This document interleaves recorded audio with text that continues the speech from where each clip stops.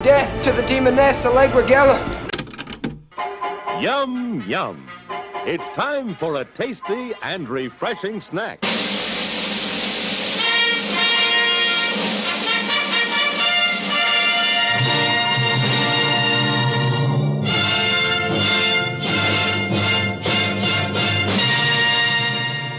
You know who I can do without? I can do without the people in the video store. Which ones? All of them. They never rent quality flicks. They always pick the most intellectually devoid movie on the racks. And now, on with the show.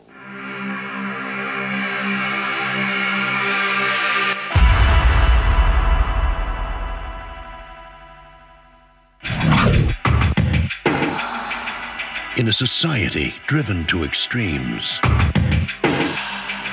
two people met by accident.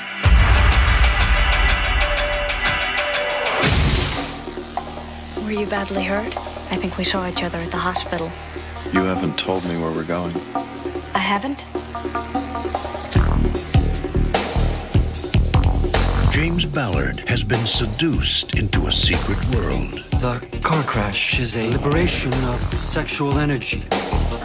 Where the only way to connect is to crash. That's the future, Ballard. It's something we are all intimately involved in. Why are police taking this so seriously? They have no idea who we really are. Now, they'll do anything Describe it to me. to feed their obsession. Is there something here that interests you? This interests me.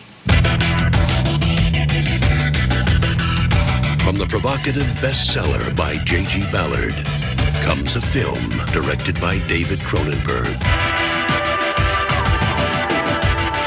James Spader, Holly Hunter, Elias Koteas, Deborah Kara Unger, and Rosanna Arquette.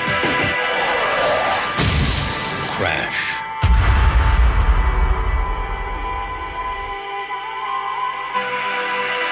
You coming?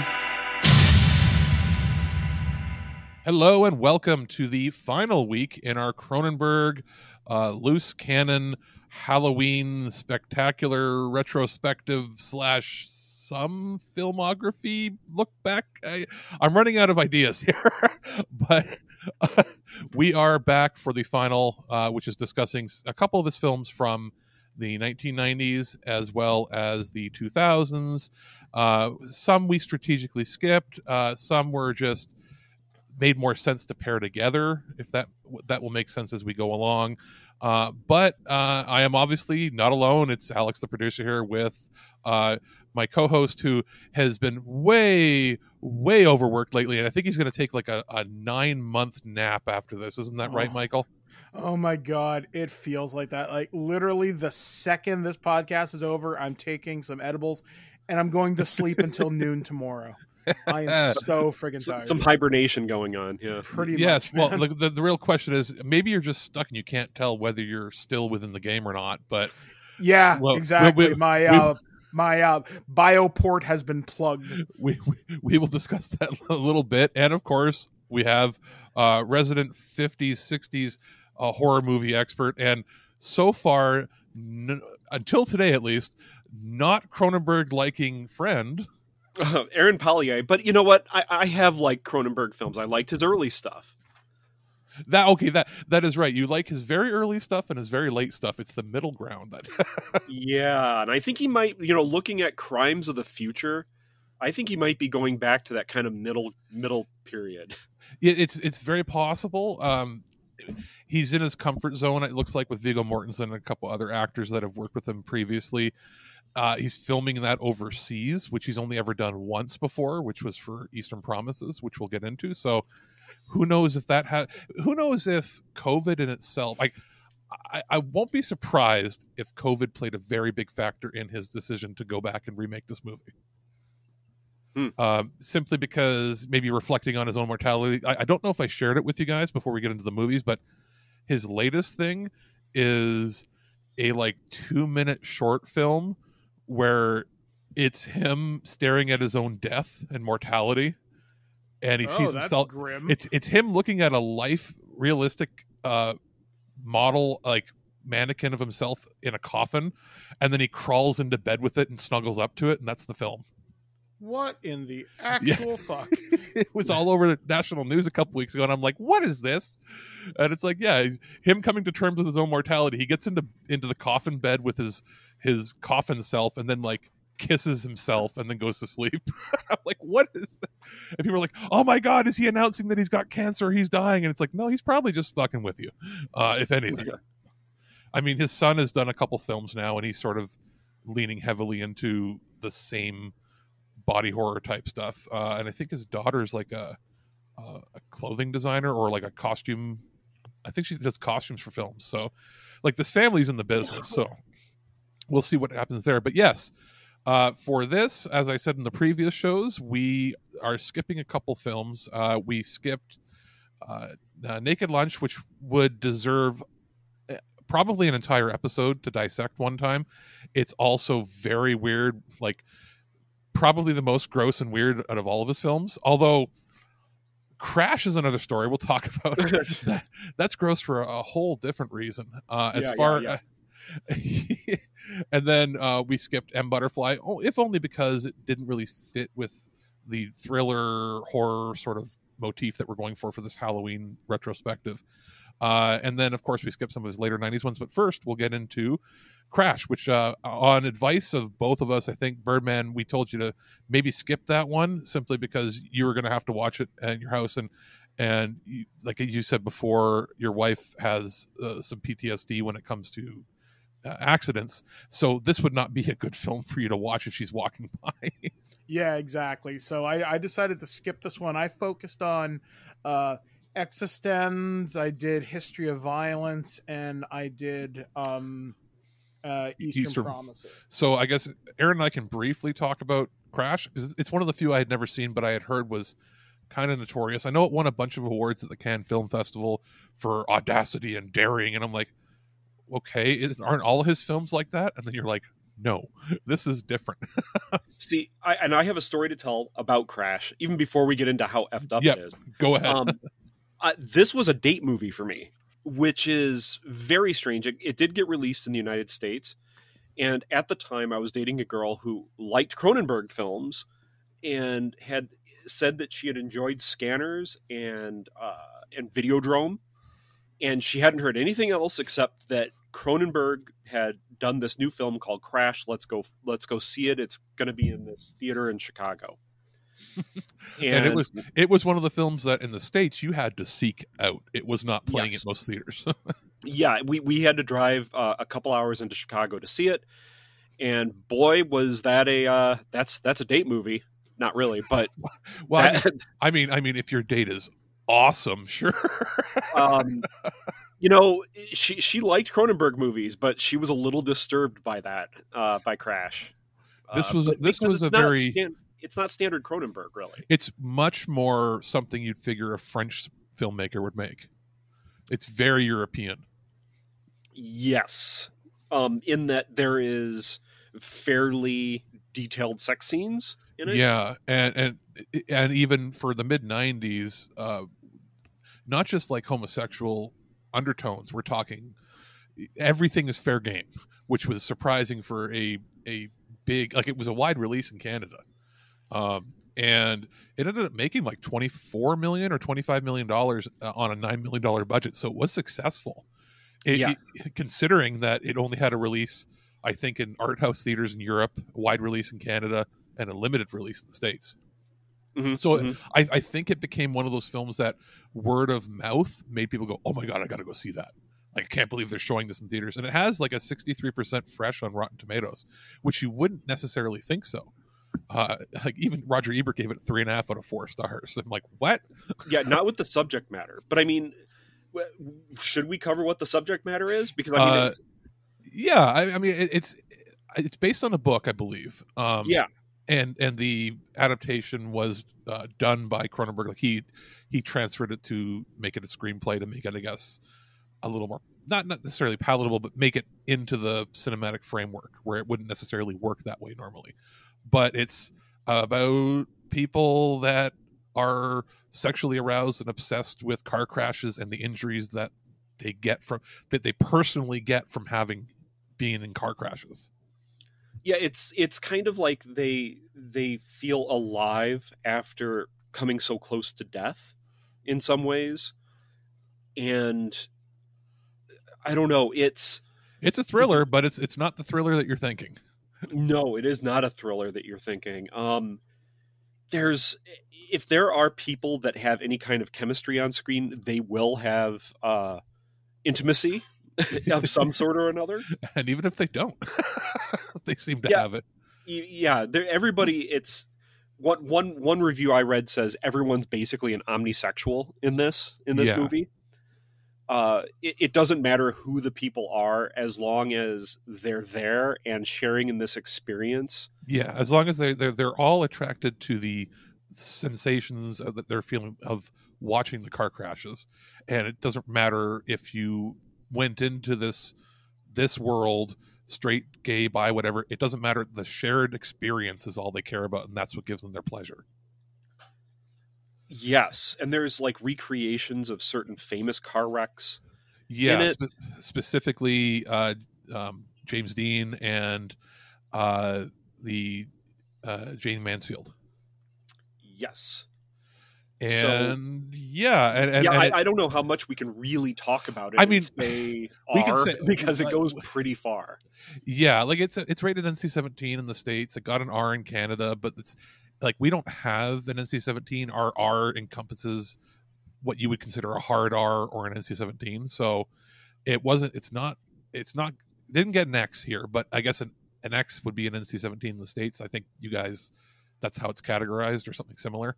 Um, and it's it's not like it's unearned. Like, the- Yeah. One of the opening scenes uh, it, in, involves uh, James Spader is playing a producer on a film set, and it involves him having sex with one of his, uh, I think, camera operators. Uh, and it's it's it's nothing you wouldn't see in like a softcore porno. Um, yes the, the amount like it's it's not just hey hey here's a missionary sex scene for every R-rated film ever made. It's it's more graphic than that and involves more than you'd expect, and it Oh, goes boy. on from there. Yeah.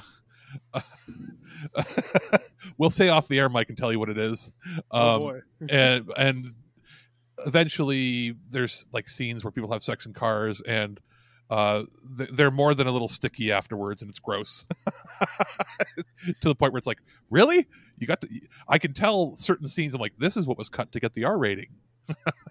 um, yes yeah, I mean, there is full full nudity in this. yeah, There's- yeah, and, and, and very descriptive, like uh, people wanting to hear, like they want to hear descriptions of them having sex with other people so they can imagine it, or like describe to me what, what the car crash was like. Describe to me what your injury was like, so that they can get pleasure from them describing their trauma. Yes, it is. It, it's there's a lot of things in here that can trigger people. To be fair, um, it's a pretty intense film in certain ways. But I mean, if if you're okay with like violent car crashes, um, But it's never. There's no jump scares. There's no like, oh my god, explosions. There's none of that. It is. Yeah. It's it's at a deliberate pace. Nothing in it is going to scare you. You may be mortified by their actions. Yes, exactly. So I mean, approach this movie with care is what I would say. Um, yeah, and, and and yes, as we said off the air, Michael, uh, James Spader gets it on with Casey Jones from TMNT. Oh, well, that's delightful. Yes, Daniel Jackson and Case, Casey Jones. Yeah, Yes. my my thing that I've said all for for years is yelling Daniel Jackson, no. oh yeah, pretty. It's it's it's pretty. It, yeah, it leads up to that, and it's pretty. It's pretty intense for what you for like. I'm like 1996. How did he get away with this? And you find out, oh, they showed it at art house theaters, and then they get released in the states on VHS. For years, they had to have a cut version, and to get the uncut version, they had to import from Canada. It's like that makes sense. See, uh, to, to put it to put it in perspective, like Showgirls was NC-17, right? Yeah. Showgirls is tame compared to this. Yes, very, very tame compared to this. Yes, I mean, Andy Sidaris looks like you know a Quaker filmmaker compared to this movie. There, there's almost never more than five minutes that go by without somebody diddling somebody else. it's Wow. be, like it's it's it, it- everybody has their paws on everybody for every little reason, and surprising amount of star power. James Spader, Holly Hunter, uh, Elias Koteas, Deborah Kara Unger, Rosanna Arquette. Um, I think the only person we don't see have sex in this is uh, is Peter MacNeill, who plays the one of the stunt car drivers. And there's he because you see him in a couple crashes and he's there, but he doesn't get involved with it. But everybody else, if they're on screen, they eventually have sex with Um, everyone else. with, with, with with everyone else, and there's there's probably some deeper meanings in it. Um, like it, it's it, it. I would say it's worth watching. It is not something to have on with. Like if you got kids walking around your house, Hell No. no. no, believe me, no. Yeah, no, no, you, You, like you would think you were watching a porno for most of it. Yes, it, it it is. That's what I would compare it to. Is it, it's it's a very well done porno. It is very well acted. The, the- you know Yeah, and, and that's why I have it sort of. You could almost like if you told me, "Oh, this is um, you know Bernardo Bertolucci direct like an Italian or a French director directed this over overseas," I'd be like, "Oh, I get it." Like like they they make films like this. Um, it's just not something you're used to seeing over you know stateside, especially with you know all, American and Canadian actors. You're like, what? So yeah, I, I, interesting. Check out a trailer for it. Uh, be aware when going into it that that's what you're getting. um, it still has Cronenberg sort of traits for the way he filmed it. Um, this, uh, if you're going for like a double feature, this is not. It's it's listed as like an erotic psychological thriller. Don't pair this with like nine and a half weeks. it's not the same kind of psychological erotic thriller. no, no, no, no, no. I, I don't know what you would pair this with, really. Uh, I, I mean, my first my first instinct would say like Basic Instinct, but I no, not even that. That doesn't. Um, there's a Canadian film called Where the Truth Lies, and it had a similar backstory where I saw it in theaters. The Canadian version's uncut. The American version, um, they only had a cut version. So people were driving up. Like when I went to see it in the theater here, there were people in the theater that drove up from Buffalo because they wanted to see the movie. Uh, and it starred um, Kevin Bacon and somebody else, and it was like a murder mystery thriller, and it had some pretty graphic sex scenes in it too um, which was really surprising. And it often got compared to this. So maybe you could do a double feature with that, but it's Kevin Bacon, Colin Firth, uh, and a few other people. And again, it cost 25 million. This one only made 3 million. Uh, but I remember like half of my theater were made up of Americans that drove over the border. wow. So like sometimes you'll get that where it's like, oh, if you wa-, and I remember at the time uh, they were talking about it on TV in the states. If you want to go see it, go up to Canada because like 20 minutes of the movie was cut to show in the states. Um, but yeah, so very very few films exist that are like this, uh, and we can move on. Uh, and Michael will again will tell you off air just some of the stuff. It's like oh my god, but One one more thing, can I talk about Crash? Yes. One one thing. Um, I think it is, and I'm, I'm trying to find the. It, it's Rosanna Arquette in this. yes, Her costuming is actually really cool. Oh her her, her her like metal body cast slash it looks like something from the future. Yeah, it, it is interesting. She has like this BDSM body cast type thing that she wears kind of near the beginning of the film. She has like this black lace on underneath it. and it looks like she ha- she's has she had her, one of her legs re- removed or or there's a compartment within the cast that she holds her weed in It's a compartment. I think she still has both of her legs, but I think there's scars on them. Yeah um, really deep scars.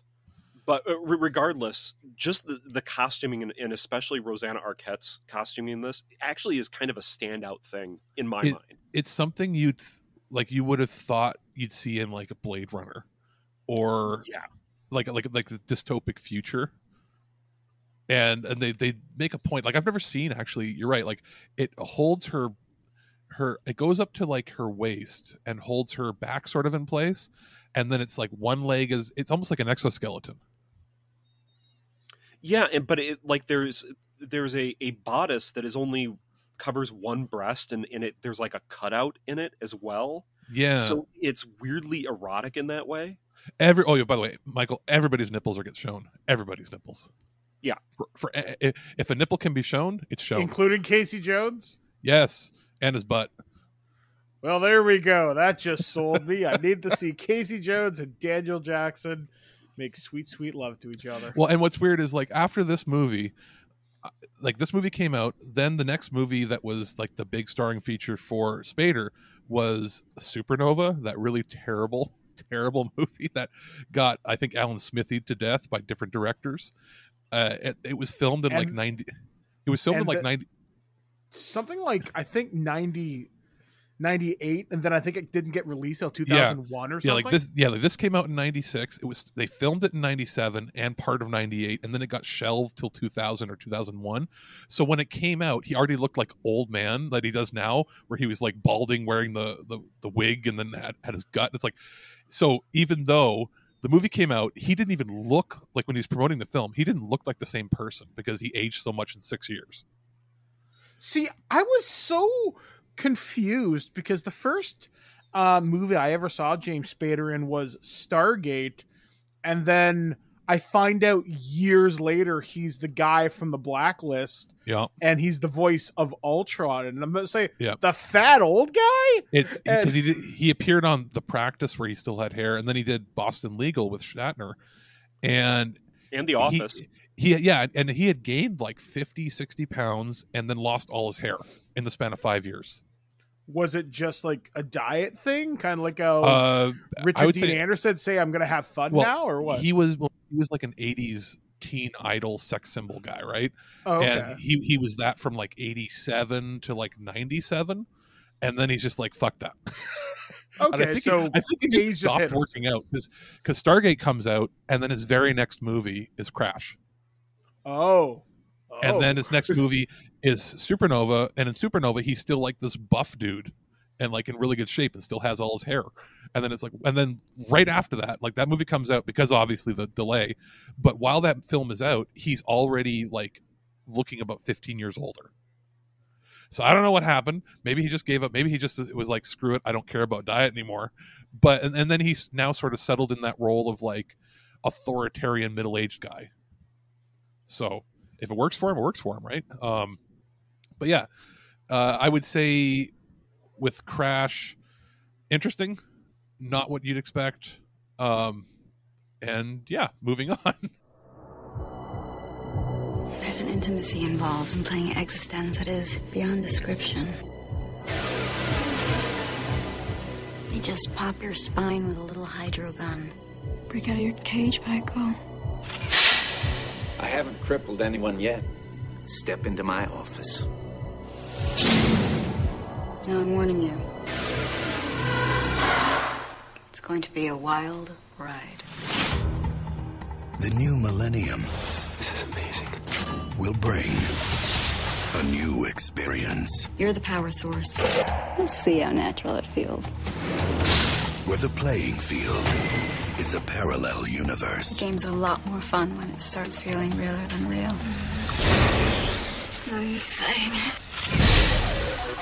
I don't like it here. I think it's infected. It's not infected. It's just excited.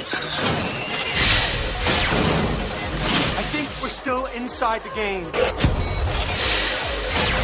We have enemies in our own house. I do feel the urge to kill someone here. Do it. It's just a game.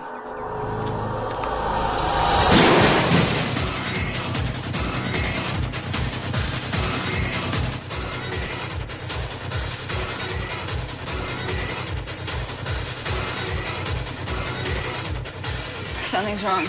Oh, God. What happened? Let's come back here with us.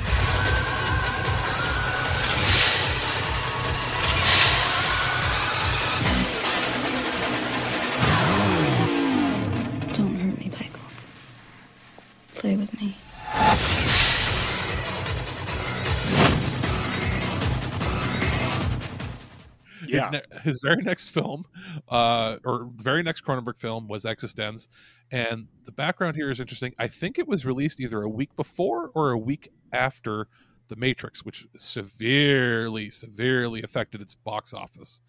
uh, because at this point, this was the most expensive Cronenberg film made, uh, thirty-one million dollars Canadian, so roughly twenty-five American. Um, and you wouldn't necessarily see it upon first look till you realize that it has a lot of CGI in it at a time when that was still new.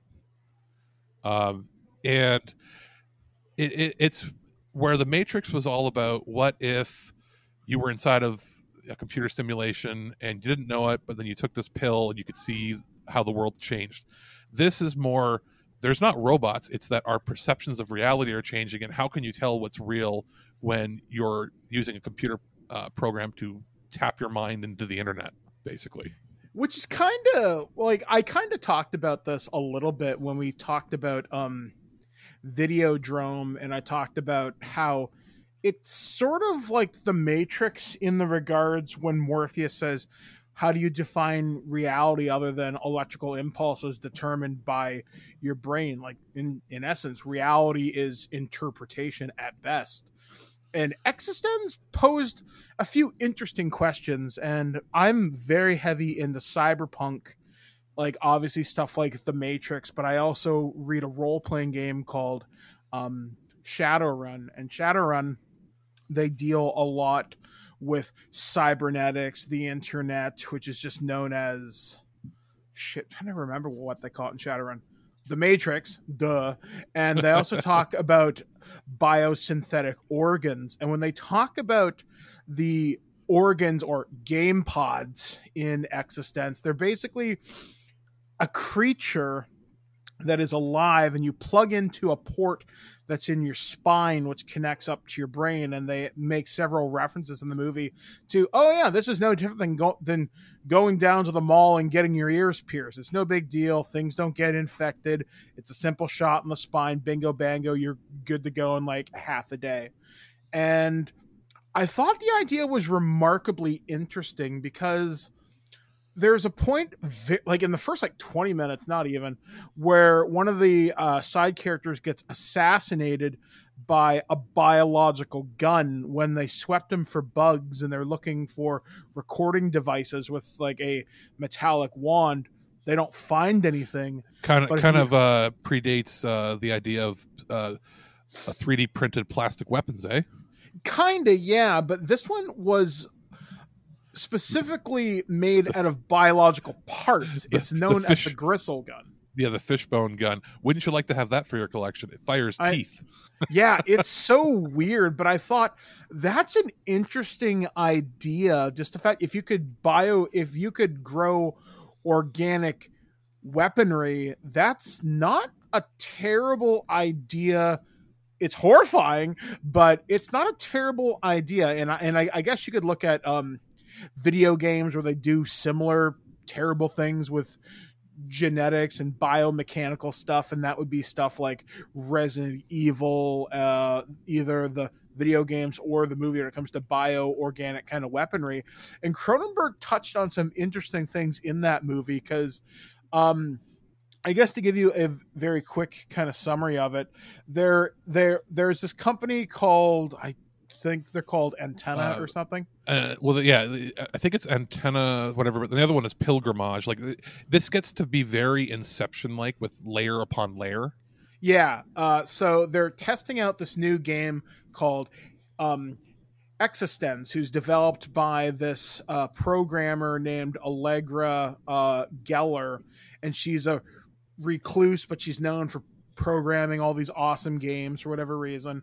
So they're given all these new biological game pods and they all kind of jack in and experience a simultaneous reality. But then this assassin shows up, says, Death to the demon, Allegra Geller okay. And as we talked about, she gets shot with the teeth gun.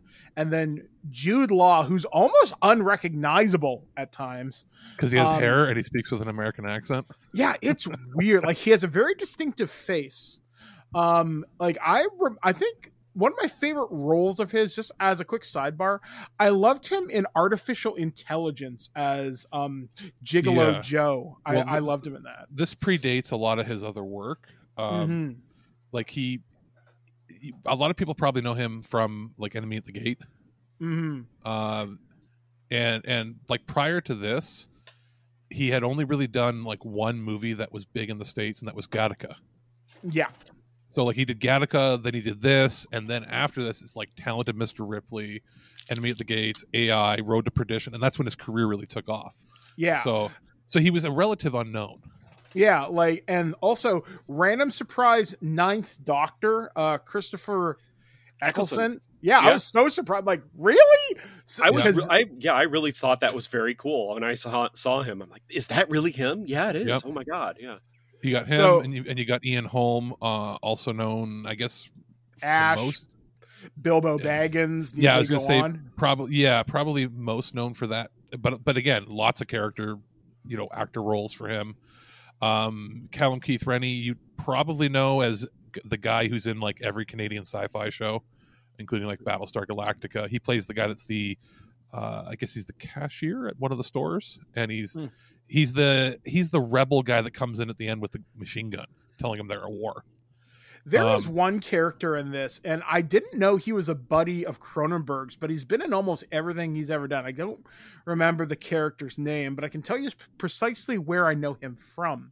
Okay, Uh, in Jason X, which Cronenberg was in and dies, um, there is a person who gets a phone call, and the guy's on Earth, and he's like, "Hey, man, I got this crate of."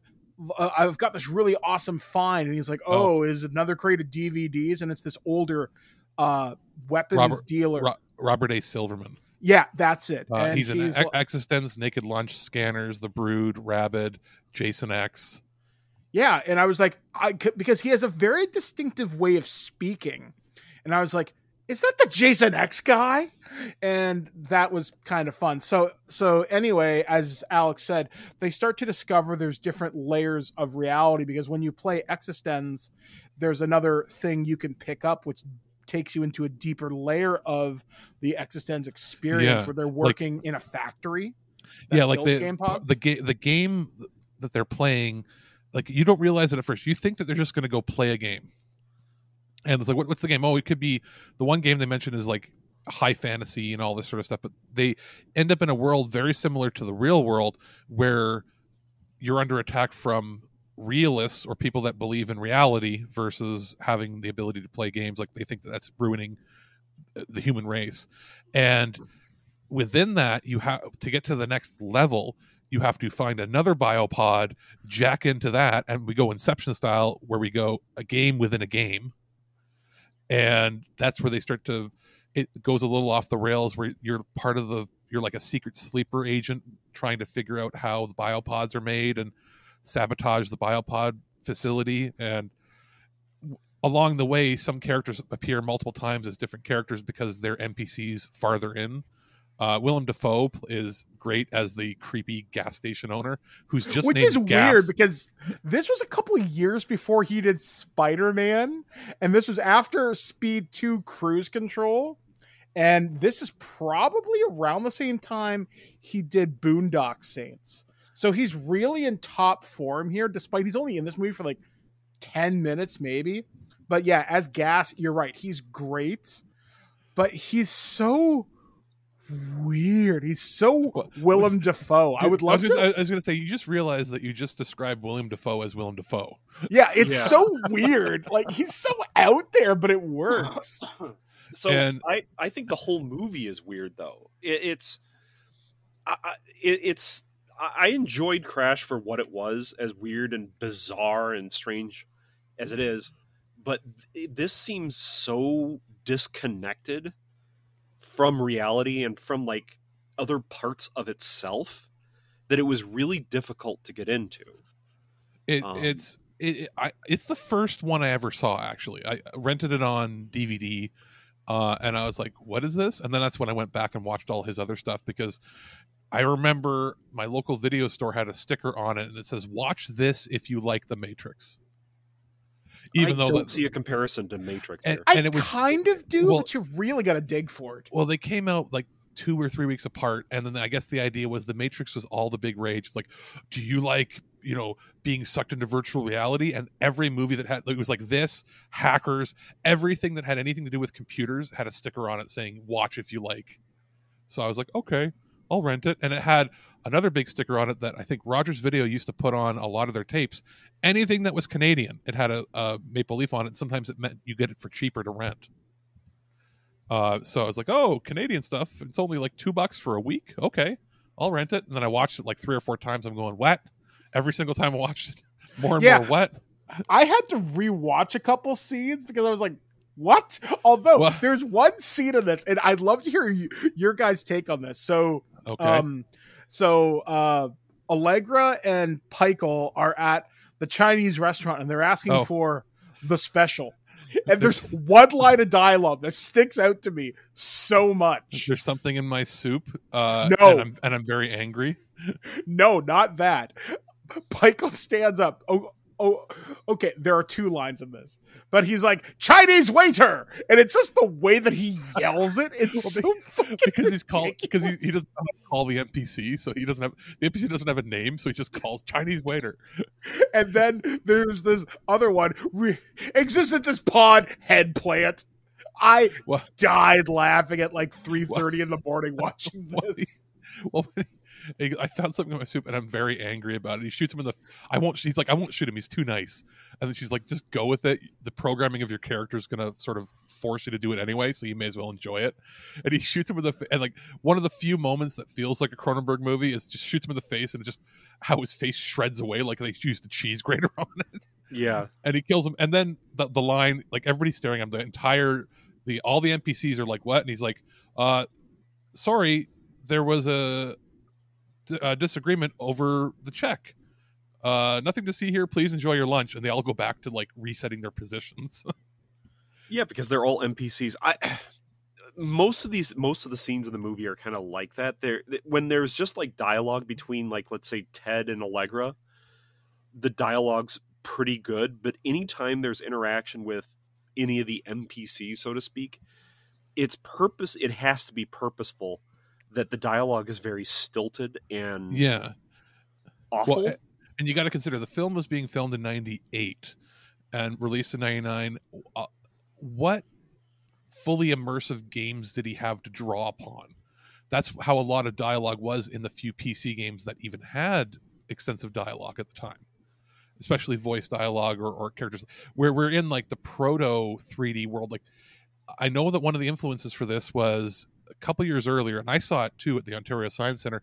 Sega had put out their VR arcade cabinet that ultimately didn't get into production, where you'd walk into this like cage, they close it around you, and you could walk on this trackpad that could move in all different directions, and you put a VR headset on, like sort of like you do now with like an Oculus Quest, but it would allow you to walk anywhere, and it was a very simplistic game where you're in a first person perspective everything's very simple geometric shapes and you've got a gun in your hand and you're blowing up things that are coming at you and it blew my mind as a kid and uh, I heard that that was one of the things he saw, and he's like, "Oh, that's interesting." Well, you know, that was so proto. Now there's so much more you could do with somebody, you know, with what we see with VR titles anyway. It's like what would happen if it did hook up to your brain? Like it's just, I think some of it was the limitation of what he's working with, and now the way like you couldn't have done a game like like the Uncharted series 20, you know, two years ago.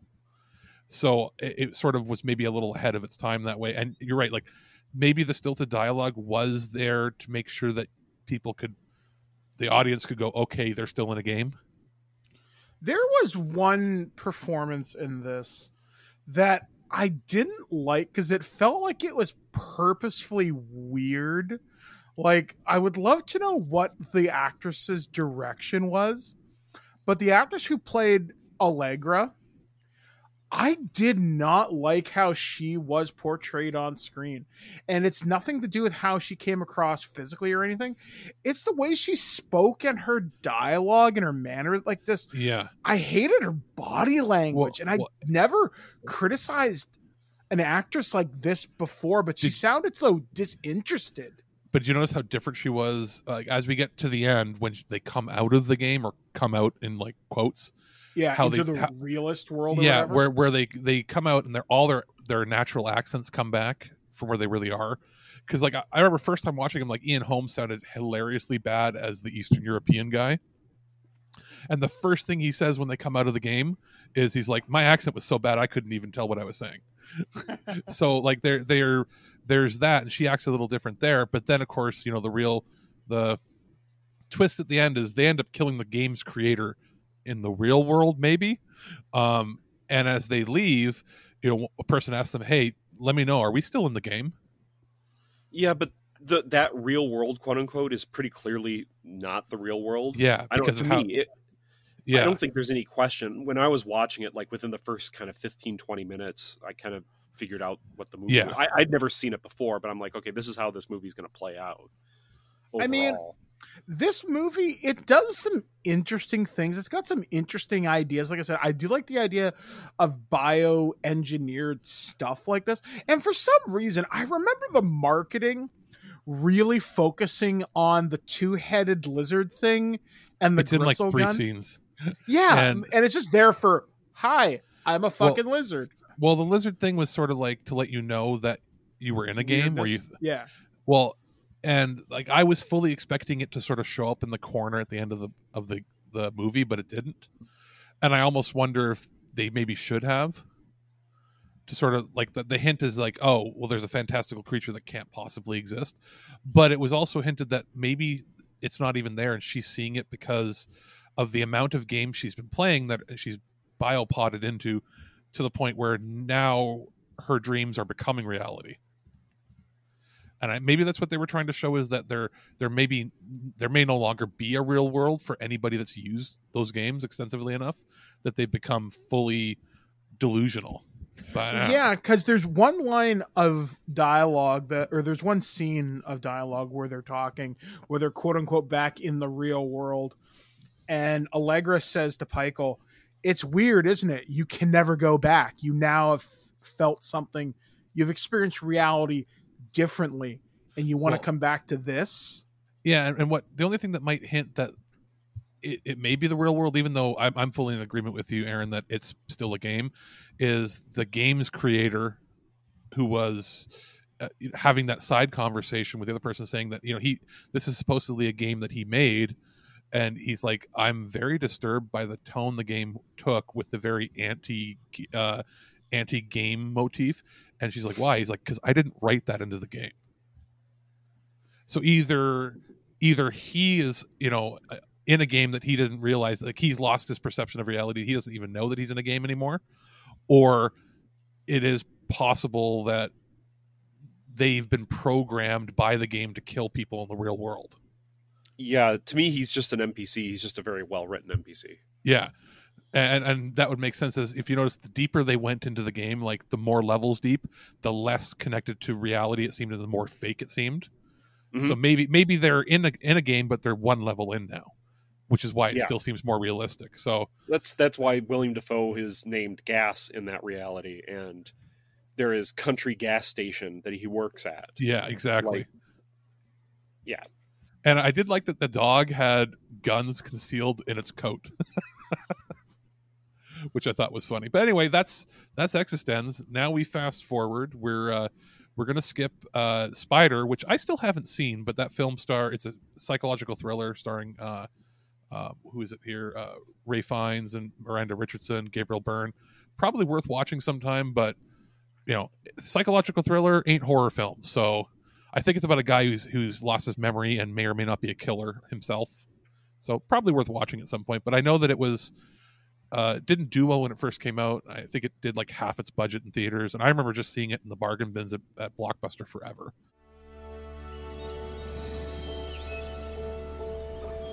One win and run coming right up, boys. Bye. Hey, Mr. Stall. Hey, Jared.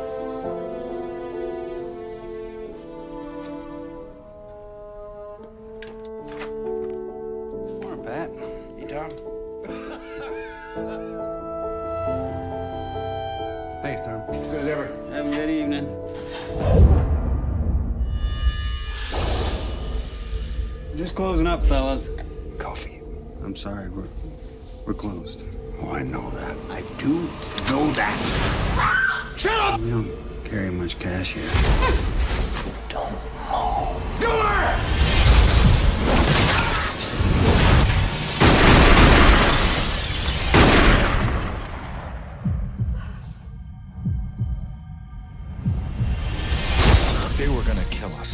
Saved our lives. Hello, my hero. Tom Stall is a family man with long-standing ties to this community. Right now, this community is rallying behind him and calling him a hero. Way to go, Tommy. Great, more reporters. Look like reporters. You're the big hero. Really don't like to talk about it, sir. You sure took care of those two bad men, Joey.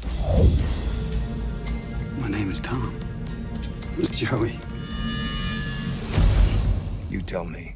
Sarah? Sarah! My daughter, where is she? What's going on, Dad? They thought they knew me. Thought I was somebody else. Nothing to worry about, Mrs. Stall. I've been watching over. I don't know what you want, and I don't really care. You should care about what I want because what I want might change your life. Why don't you ask Tom and ask him how come he's so good at killing people? Uh, and then we go a few years uh, down the line, and Cronenberg has sort of a renaissance in Hollywood, like sort of unexpectedly. People thought he was sort of winding down his career, and then he has a he signs uh, a contract to adapt a graphic novel that had done fairly well uh, in in the comic book scene, but not a lot of people knew about until he made the film adaptation for A History of Violence. Um, and the movie cost like 30 some odd million, made like 60 million in theaters. Uh, I saw this when I was in high school. Actually, I think it was for film class. They're like, go see a movie and talk about it. And I, of note, before we get into the plot, this is the final film in the world to get a VHS release. So uh, after this, the only thing that you would get if you got a VHS was like if some indie person made a movie and they wanted to duplicate some tapes. This was the last movie that was a theatrical movie that got a, a, VHS. So I know there are people in weird circles that don't even watch the movie that are collectors that just decided to collect. They're like, hey, I've got a sealed copy of History of Violence because it's the last tape ever released. Um, so a Hmm. little trivia there. Um, I wouldn't suggest watching it on a VHS because it would look like crap nowadays. Try blowing up a 240p video to like a 50 inch TV and it's going to look like garbage. Uh, but this is probably would would you say this is the most conventional film he's ever made? Maybe outside Ooh. outside as far as basic plot outside of maybe the racing movie. I would see, I'd argue history of violence was is yeah, that's what we're talking about. Sorry, I Yes. got confused for a second. Yeah, this definitely feels like the most mainstream, the most accessible of any of his movies. This is the one I probably enjoyed the most of his modern stuff that I watched, and I was genuinely surprised because uh, we talk in a separate uh, kind of Facebook chat uh, when we do the show here, folks. And I think I remember Aaron saying something along the lines that this movie moved a little too slow. And I would disagree only because this movie kept me engaged, only because Viggo Mortensen is so good. And Oh, everybody else yeah. around him is brought up in their uh, performance, like particularly his son. I was a big fan of his uh, kind The of son, ca- you you- mean the uh, the uh, the social network lookalike? yeah like it it's so weird because there's one scene where he beats the shit out of a bully and uh that definitely rung true for me uh because that was just a scene that i very much connected with from my personal life but hearing uh viggo's character tom constantly say i'm not this guy you're looking for i'm not this guy i'm not this guy I don't know. There was something very, very, very convincing about it. And then for some random reason, like to the point of it being unnecessary, um, there's a couple of random sex scenes in this just because, and it's, a it's not full because nude it's- scene because it's in the, it's in the comic, so it, it, it's a faithful adaptation. But from what I uh, uh, understood, the comic and the screenplay were there was so much there were so many rewrites that Viggo Mortensen had said later in an interview. Uh, Cronenberg should have got a screen credit play on that or a screenwriting credit for this because it had changed so drastically. And it had come down. it, I, I think I think if I remember what was said, it came down from 120 pages to 70, and that's a significant chunk to get cut. Well, and it was originally supposed to be a uh, Harrison Ford movie. Yeah, because he was offered and I'm, the part I'm-. I'm telling Stahl. you, he was too old to play that role. Oh God, yeah. Like Viggo's a guy. I wish I'd seen him in more stuff. This was probably one of my favorite roles where he's not swinging around a sword, screaming, "I'm the Well, this- king of Aragorn" or whatever. A- As you'll see, like uh, some of the films that come after this that we're not talking about, what you'll see is a lot of actors that maybe got typecast. One of their first movie roles they do outside of a big project was to do a film with him. So he does this right after wrapping filming on Lord of the Rings trilogy. okay.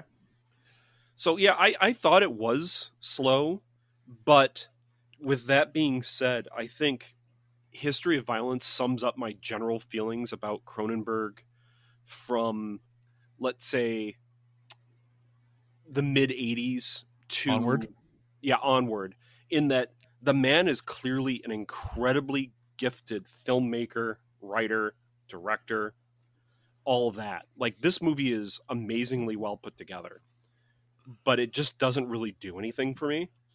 And I felt like I kind of understood what it was trying to say within. I don't know. By the time the scene in the diner happens, right at the beginning, not not right at the beginning, but you know, like Yeah. twenty minutes in, I'm like, okay, this is where the film is going to go. Yeah. And yeah, that's exactly where the film goes. So yes, the acting is great. I think Cronenberg is able to draw out performances from his actors and actresses uh, that are amazing, but the story doesn't really do anything. I don't know. It doesn't do anything that's outstanding to me. Know, that's that's the best way I can and I, and and I can get that. This, this was obviously the first time I saw his films theatrically, and it, it was you know there's some shocking moments, and they're like, yeah, you- you're right. Like it for a mainstream, what you know, we normally call a mainstream picture, the way it was marketed too, it's you don't normally see a lot of the sex stuff that like they did here. It felt very much like an '80s movie. Like it, it, it felt like something you would have seen like a Brian De Palma film from the early '80s. Yeah, that's actually pretty close. Actually, Um, but you know, Viggo plays Tom Stall, uh, who is small town uh, dude, runs a, a diner, and but the film opens with uh, trying to remember the guy. They're at the played- Schitt's Creek um, motel. I know Yeah, that. that's what it looks. Yeah, you're right. Probably is actually. I don't think this Um, was shot outside of Shelburne, but this was shot because I used to live there and beside or not too far away from the Sh- Schitt's Creek place. Actually, um, it was. It says it was shot in Millbrook, uh, Tottenham, and King City. Tottenham. Uh, yeah, that's relatively close to Barrie, if I'm not mistaken. So it's very possible that the one scene might have been. Yeah, possible, yeah. Because like it opens again with that slow opening, like you're right, with Stephen McHattie, uh, who always plays a great villain. Has that like one of those like real defining stares. Oh yeah, Um, and, that, and this opening scene is great. Yeah, I thought it was When- cool. And for years, here's the crazy thing. You want to talk about like creepy, intense bad guy stares? His wife for the longest time was Meg Foster, who also has creepy, like intense stares. She's from uh we've seen her in I think she's in Masters of the Universe. Oh, As- she's Evil-Lyn. Yes.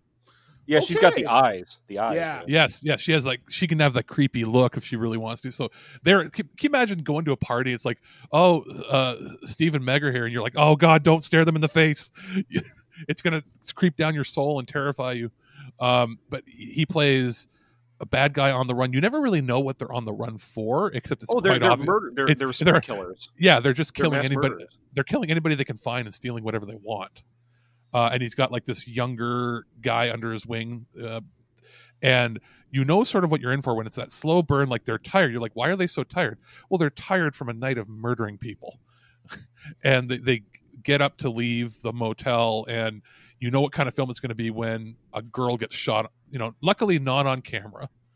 Um, I, I feel like younger Cronenberg might have just shot her on camera, but like the idea is they're wiping people out, and you just don't know when. Like you know they're going to appear, but when are they going to appear? And after they then Cronenberg does a, a decent job of establishing the characters afterwards that you're supposed to like in the in how it's like a slice of life kind of you know Americana. We're, we're living a happy life, but there's still some dynamic issues with the families. Everybody's they're not all one dimensional. Like at least I can say that about the film. Oh yeah, for sure. Um, and you see that there's issues with the son being bullied, and and there's yeah, domestically that they're they're doing pretty well, except the kids are obviously having some trouble that he doesn't know about. Uh, and then the diner scene happens where they decide to come into the diner and they're gonna steal whatever they want, eat whatever they want, and murder everybody just because they can. And uh, Tom breaks into action and you know kills the younger uh, assailant, gets stabbed in the foot, then shoots the face off of of the, the bad guy, and he's then become a, a local news hero. But then it airs on like the tri-state area news, and it gets to the attention of people across the country. And uh, Ed Harris shows up in a really creepy looking makeup effect they had for his like dead eye, um, and comes in to sees him and you know asks for coffee and then says, "All right, thank you, Joey." And uh, Viggo no sells it the first couple times, uh, and then they they just start slowly harassing his family because you know in their mind they know that he is a guy from Philadelphia who used to be with the Irish mob and ran away after uh, you find out maiming uh, Ed Harris's character, who's a made guy. So violence ensues, uh, and the trust of his family is betrayed when when he admits that he you know he isn't who he says he is. He's basically been on the run for 25 years, and uh, the the son ends up having to save the dad by using a double barrel shotgun on Ed Harris, and uh, most of the deaths that Tom Stall inflicts in here are, are like something you'd see Steven Seagal do, or something you'd see like John Wick do. Like he's just really good at killing people, even though you Mhm. wouldn't you wouldn't suspect it, and he hasn't done it in, in twenty some odd years. So after having uh, violent, angry sex with his wife on the stairs, which Michael was referring to, uh, he decides to go and he's like, they're going to keep coming after me and my family. So he decides to go settle the score uh, up in Philadelphia, where you find you find out his brother, older brother, is actually a captain in the mob, and craziness ensues, and he has to kill his brother. And basically, that section, so that the only people that would know who he is, he has to kill them and leave no trace. And then it ends with him coming back home and having dinner uh, with his family. His little daughter has no idea what's happening, so she gets him a plate, and they just sort of sit unsettled at the table, knowing that they have a very difficult future ahead of them.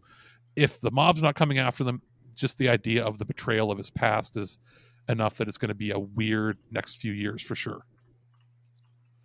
Yes. I mean, this is the one I enjoyed the most. And I don't know, maybe I was just in the right frame of mind when I saw it, but really enjoyed Viggo. I love the story of you try to run away from your past, your past eventually catches up to you. And despite um, Ed Harris only being in this for not very Probably- long, all things Probably 25 minutes total, maybe. Yeah, he's a great bad guy when he gets something to chew on. The first movie I ever saw Ed Harrison was, I think, Apollo 13, where he played Gene, who was, I think, uh, Capcom at that time. Yeah, Gene Kranz. Yeah. yeah, uh, wonderful performance, great guy. And then I saw him again in The Rock, where he played uh, General Hummel. And just seeing him play bad guy roles, I really because he has that very intense voice, but it's that I'm going to be nice with you, I'm going to be polite with you, but I'm going to tell you if you fuck with me, they'll never find the body. and I love that intensity about um, Ed Harris. And even with Viggo Mortensen, I really get the sense that he loves his family, he wants to protect them. But as is said in many a Liam Neeson movie, I have a very particular set of skills, and I get that vibe from this. Sort, Well, sort of like Ed- a proto Taken in a weird Like way. my first Ed Harris experience was probably seeing him in The Abyss. Um, which I still and- have never seen. Oh boy, Hmm, that wow. one that one's worth it. Um, there's a few others he did from that time period. I for a second I I know it's the Abyss, but I thought he was in Leviathan, but that's a different movie, but basically the same thing, uh, which we'll have to look at sometime. But uh, there's a line in the film. Was it? I think from from William Hurt, the, who plays the older brother. He says to him, "When you dream, do you still dream? As, do you dream as Tom or do you dream as Joey?" like because he's been away from the life for so long and pretending to be somebody else so long that does he even in a subconscious Remember is who he is, sort of thing. yeah are are you the same person? Like are or are you this new guy? Um so that, that that's one of the more decent lines. And I, I feel like there's a few lines in this film that like somebody must have brought like cronenberg wouldn't have just taken a graphic novel unless i'm assuming like his his son and daughter are like roughly our age somewhere in between there um like between like 34 and 40 so i'm wondering if 15 years ago it was a case of like his son or daughter had the graphic novel and he's like what are you reading? And flipped through it and went what? This is pretty good. Because this is also right around the time that graphic novels started to blow up. Like road to perdition had just come out i think a year earlier. So that this before all the comic book craze where it was all the superheroes it was all about this graphic novel. Like oh, my god. Because the storyboards are basically done for you they're already right on the page um yeah there, and there's a couple moments in there that uh, you know again are are well made um but it is i can see it, it's a slower movie like it's a movie that's 96 minutes long but could probably have worked at 75 minutes even Oh, sure, sure, yeah. um but i, I All the again performances are great, though. That's the thing. Oh, oh yeah, and and there's there's people in here that, um, again pop up in a lot of other Cronenberg films. This was Viggo's first film with them. After this, he ended up doing, I think, two or three more, and then he's got the new one out coming soon. And uh, Peter MacNeill, who who played the uh, stunt driver in Crash, is in this as the sheriff. Uh, I'm trying to think. There might be a few other people that showed up that were like supporting actors. Uh, but again, uh, probably the smallest picture he made uh, when it comes to sets and the amount of things going on, because the closest thing to this maybe would have been the Dead Zone. Fights, really, yeah. Like- oh no, sorry, yeah. In in terms of small and scale, yeah, I'd say Dead Zone. Um, you could probably make a case for Dead Ringers, but I guess for the special Rabid. effects, yeah, Rabid. Yeah, but I mean, as far as uh, this one had so little, like the special effects are just a couple of violent scenes, and everything else is Mhm. all shot sort of natural lighting, and and uh, it, it's interesting, and I, the Oh, whole not movie. Rabid. I'm sorry, I meant Shiver. Like the, the Oh, the yeah, one yeah, the first in the apartment Yeah. complex. Yeah, because in this, it's basically his home, uh, the diner, and the school, and that's pretty much everything, other than the establishing shot of the, the motel and the and the final scene. So it's like five sets, which is almost nothing when you consider, you know, how many sets we have for movies nowadays. So, I mean, it's cool. Uh, it's probably. Would you say this is like one of the more accessible ways to jump into his films if you're unsure? I don't think it's representative of what Cronenberg is because let's face it, this guy's signature is fucked up. Um and but yeah, I don't know. This would be a good movie just to show anybody and then if you happen to find out it's a Cronenberg, I think it's a pleasant surprise. Like I think his stuff in the 2000s cuz we're going to talk about Eastern Promises next. That I think these two are the most accessible that aren't like here's fucked up horror movies. Like if I were to go, like we'll talk about this at the end of the show, going through all the kind of decades and like everything. I think History of Violence has that ability. You can show it to almost anybody and they'll probably enjoy it. Eastern Promises has a good enough rooted story that you'll get people involved without saying, hey, you know what's awesome? People shooting each other with chicken guns and fucking in violent car crashes. By the way, Ultron fucks Casey Jones. You know what I mean? Like, you can do. Cronenberg doesn't need weird to be good. And I wish he would do more movies that don't necessarily lean into this is so bizarre you need to really think about it. I mean, that's great and wonderful on one hand, but by doing something a little more mainstreamy, I think you'll bring more people yeah, into you. like this. This has audience score on Rotten Tomatoes is seventy six percent. Uh, the tomato score is eighty seven percent of critics liked it. Mhm. So I, I can see that. Um, looking at the previous ones that we saw today, specifically, uh, Crash has 63 pretty much across the board. Um, and eXistenZ has 74%. So I guess the critics that did watch them like them. Uh, Spider has 85, so we will probably have to watch that sometime. We think he might be Russian mafia. And he was a member of Vory v Zakone. In Russian prisons, your life story is written on your body. In tattoos. You don't have tattoos, you don't exist. I'm afraid we've lost the mother. Unidentified woman died December the 20th, 2313. Baby girl born 20th of December, 2314.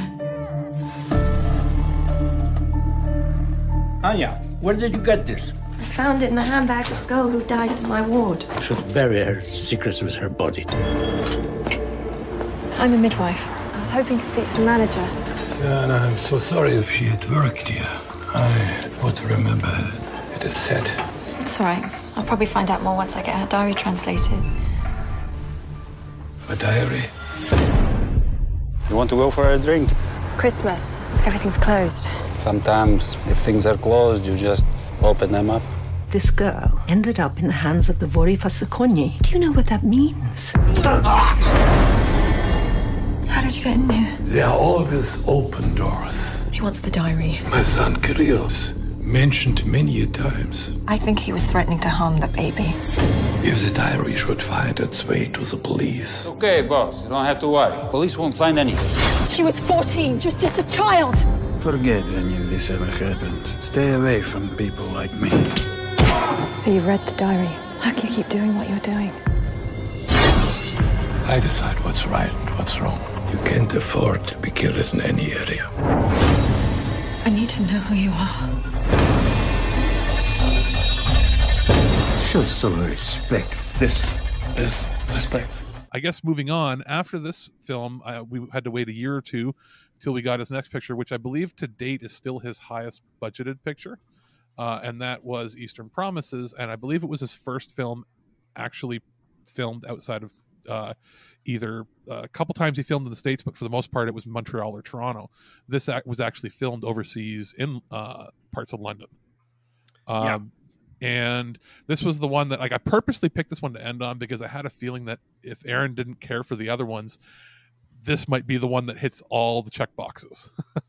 See, and I, I did enjoy this movie. Um, uh, you know, it doesn't hit my boxes for like you know good science fiction or, or anything like that, but It's a good for- movie. For, for it's a but- good, but- it's a very good movie, just like you know our previous movies. That that it's it's very competently put together. But the the difference between this and let's say a history of violence is that in Eastern Promises there are actual like characters that you can latch onto and care about that are honestly just good people. truly good There's people. anti-heroes, and then there's you know villains. There's- and, And, and Viggo different Mortensen plays an anti-hero in it, and, And- that's that's fine. and different levels of villain. There are villains that are villains based on circumstance and upbringing, and then there's villains Yes. that are truly evil. And you had said that there was uh, subtitles that you, you should turn on and off or whatever for Yeah. us. And I actually, as little Russian as I speak, but I do speak some. I could actually follow the conversations just fine without. wasn't too bad. Okay, because yeah, like Yeah. uh, the the subtitles on the the release are weird. They default to having all English, but if you switch it to the other subtitle track, it would make it so that only when the Russian is spoken. what's what's funny is is that the the vast majority of the dialogue um is very simple russian like they're just having conversations about like what you know is the food good how are you feeling today Yeah, You know, or, or or what the hell? Why'd you hit me? yeah yeah or it's cursing and i understand all of that that's that's fine Why am I not surprised? yeah, it's it's the cursing. Um, but I mean, if you watch enough Russian dashcam, you know, crashes, you can kind of pick up the the the cursing anyway. Um, but yeah, this this movie was fantastic uh, to me. But that's Yeah. mainly because I got a lot of the cultural references, and I could taste all the food that was in that restaurant in that uh, in one of the earlier scenes. And it just made me crave borscht again. I need to make my grandmother's recipe of borscht. it has more life and color than most of his films. Yes. Uh, and I'm I'm not sure if this is like he didn't write the the screenplay for this. I'm not even sure if it's based on a book, but I do remember seeing it in theaters. And every other Cronenberg film I've seen in theaters has been even History of Violence has a few people on there, maybe like half. The theater was packed for this one, and I feel it was maybe because it was coming off the rails of a lot of uh, high concept, high big budget uh, crime movies and, and mob movies that were coming out around this time. Like you had The Departed uh, from Martin Scorsese and a few others, uh, and and just like a renewed interest in in the crime movie and how many mob movies at the time had focused on the Russian mob. Very few. I, I, I was about to say, yeah, that's one thing that you absolutely nailed. You don't see too many movies about the ethnic mafia that aren't, you know, the uh, the Italian. Then Italian, we started Italians getting. are, Well, these are the are Irish. Yeah, Yeah, yeah. the But, but so yeah, like I in in the many years that I've been watching crime movies, I've seen the Italian mafia more often than not. I've seen Russian. I've seen Irish. Irish was in Boondock Saints, if I'm not mistaken. Yeah, and The Departed, and they're- like And The Departed. If if it's if it's an American movie and it takes place in Boston or Chicago, it's usually the Irish mob. Mhm. Um, unless it's like early 30s, then it'll be Italian mob in in Chicago. But it's you very rarely see anything but those two in Western movies. I was about to say yeah, because there are crime cartels and other crime families that are regional specific. Like there's the Chinese triads, there's the Japanese yakuza, stuff like that. There's even I think ethnic mafias uh, or ethnic crime syndicates from like uh, Africa. I think and obviously Well- we know about the cartels from Oh, South there's America like and whatnot. and there's there's stuff like Albanians and everything too. But Mhm. but uh, as uh, Aaron alluded to, uh, Savory, like, could, do you have a little bit more background for us? How is that different Yeah. from like the basic Russian mafia? Well, the Vori are kind of stemmed out of, and, and, and I'm probably going to be wrong, and I'm sorry if anybody's more knowledgeable out there than I am on it, because you know I'm not I'm not an expert, but the Vori kind of stemmed compared from to us, Soviet, compared to us, we don't really know. it, it stemmed from Soviet prison culture, Okay. and uh, that's why a lot of the Vori that you see in this movie have these prison tattoos because a lot of their um, their crimes or their big life uh, events they kind of tattoo in different ways on their body. So you know, if you kill somebody, you get a tattoo about it. so it's closer you. to almost like like the in the states like hispanic crime like you see like gangs that have they go to prison and they get like a, a, a tear tattooed or something it's yeah, similar but it's that much more ornate and detailed with with the Vori. I mean, if if you look during this movie, you know, when they they find the body that that Viggo Mortensen like disassembled, there's Yeah. prison tattoos. There's these Vori tattoos, and the people can clearly see that this person was Vori based on these tattoos, and that even though there's absolutely no identifiable features left on the body, they could probably get a full life story of this guy. yeah even without dna they could tell where the guy was and track him down Yeah. So yeah, it stems it stems from Soviet prison culture. Um, there's a lot of like religious iconic uh, iconograph. Uh, yeah, I, icons. yeah in it. he's got the cross Um, he's got uh, churches put on him and and each it has like a dual meaning for each one it's like that it could be like the patron saint of this also deals with oh that's a person who who never ever opened his mouth to you know he he he kept his his convictions so that also means that he was somebody who could not be broken when they were interrogating him that sort of thing There was something else that I read while I was reading the Wikipedia on this because I there were parts of this movie I was a little lost in following, um, but they talk. Uh, Viggo talks about his tattoos. Um, it turns out he wouldn't leave the set until they were washed off, just in case somebody saw him. Well, because he, he I- apparently he he one time wore them to a uh, the pub right after, and people were staring at him terrified. Yeah, Yeah, and I'm because like, they wow. understood. Like he went to a Russian bar or something like that, and he, yeah, they understood what the tattoos meant. And he he, And- he thought it, he thought it'd be funny, and then he said he only ever did it once because it was so terrifying afterwards. Yeah, because I mean, if you had the tattoos that that his character would have, holy crap! I That's mean, a big target on you. Well, it's not just a big target; it's that you know, well, it's somebody could come up to him and be like, "We we see your tattoos, but we don't know your name and your face. Why do you have those tattoos, and who are you? And and Yeah. why are you impersonating us?"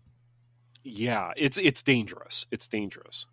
I So, mean, eh, it's always kind of funny because sometimes Hollywood, I wouldn't say glamorizes, but more or less it does. It shows a different side of crime because I remember even kind of growing up, even before I, I saw Goodfellas, and there's that famous line I always wanted to be a gangster, right?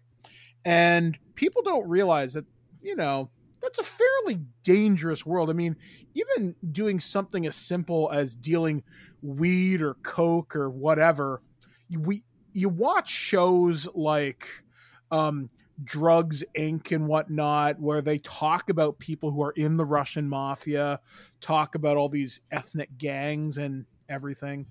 You see how dangerous this world is, and I remember like the like I I know for m- many years the guy who did Goodfellas, the guy who who had his like life story based on it and turned into the movie, he got kicked out of witness protection because he wouldn't shut the fuck up. Yeah. Um, and you think about you know with once again like as you said when Viggo went to this pub and people were like, oh my god, what if some rando who doesn't know what he's doing thinks, hey, that guy's a pr- that that guy's got all these tats. What if I take him out and make a name for Or- myself? Or worse, comes Yeah. up to him thinking he's somebody he should be meeting with, and then starts trying to do business with him before finding out he's not.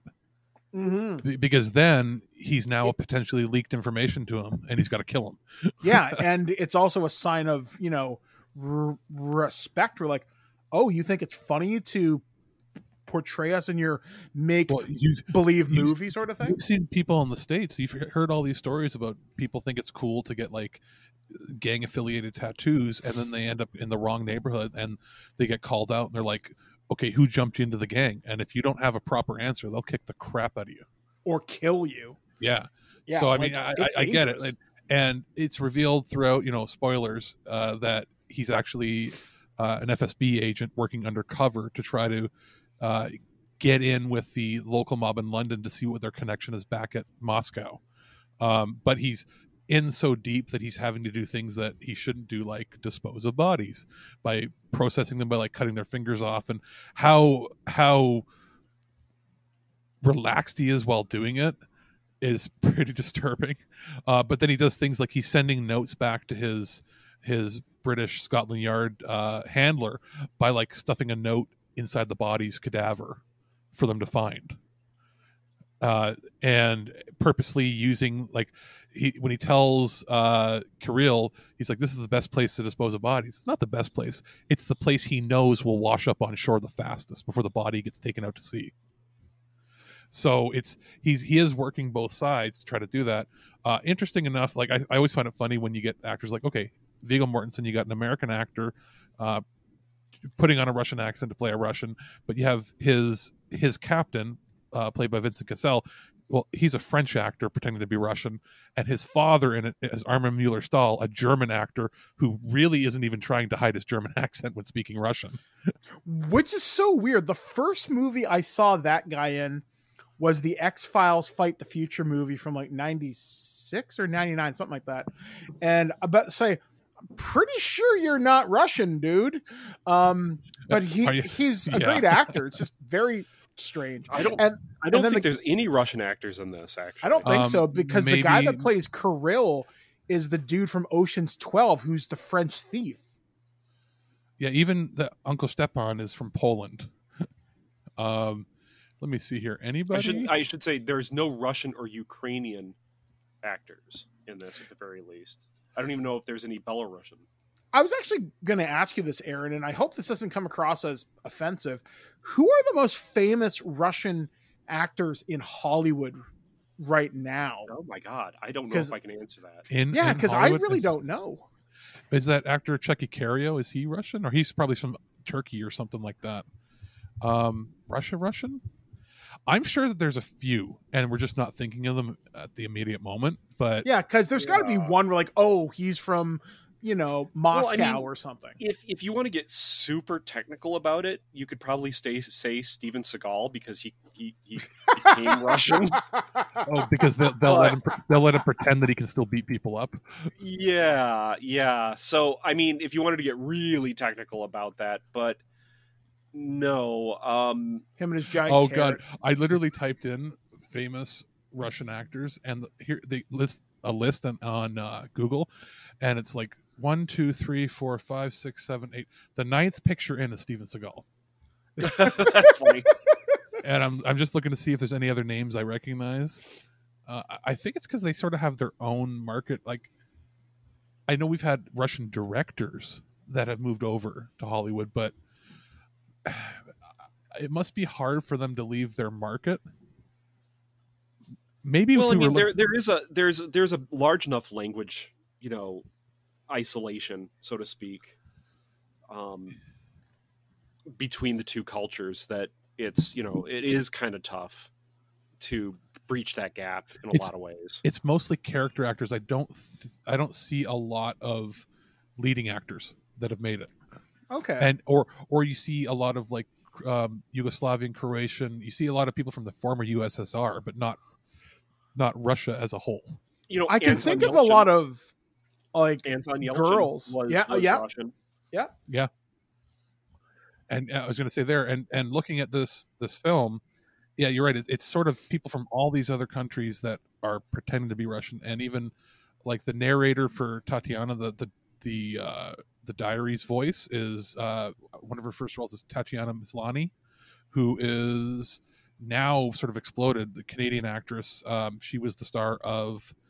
Um, uh, what was it called? Oh, it was on for a few years and it got a bunch of awards. Uh, uh, Orphan Black, and she just did something else theatrically that was like a, a big picture and, and got nominated for an Oscar or something too. So there are people that got their start in this film. Uh, Naomi Watts uh, was great as as you said as one of the only truly good characters who who has nothing like you, you you're watching this movie going I please don't let anything happen to her oh yeah, all the way through it. Yeah, yeah, absolutely. and, and with Vincent Cassel being sort of unhinged, his character is clearly though he he has bad tendencies, but it's it's mostly like he's got arrested development because he- he's been so abused by his family upbringing. Because you'll see moments where he's like, I'm assuming with his own, like it's never explicitly shown that the the girls are his girls or maybe they're his nieces when he's at the birthday parties and that. Um, it's obviously hinted that he has a thing for Viggo's character. Like it's it's there's some deep deep undertones and overtones.